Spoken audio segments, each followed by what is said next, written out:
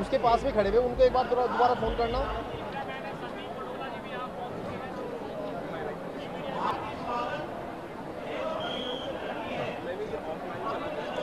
भैया हिलाओ